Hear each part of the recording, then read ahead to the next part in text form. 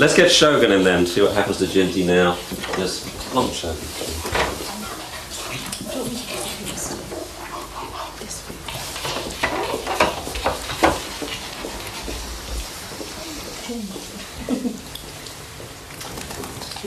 Not quite so boisterous. Well, this is good. This is what we call a preference test.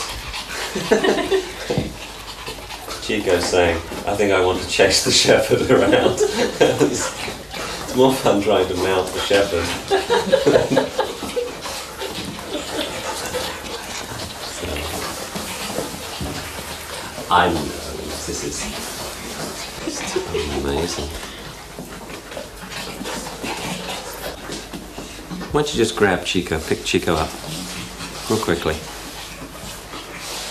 It's another little exercise you want to do all the time. Plonk Chico down again. Whenever dogs are playing and getting wound up in the play session, just go over and take hold of their collars or pick them up to check that you could. Okay, and it's best to. got out of control. And if that dog touches your fingers with its mm. teeth, ow! You, you, you scream as if it really hurt you. It's a wonderful little exercise.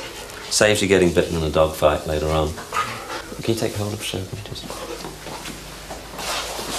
Good grab.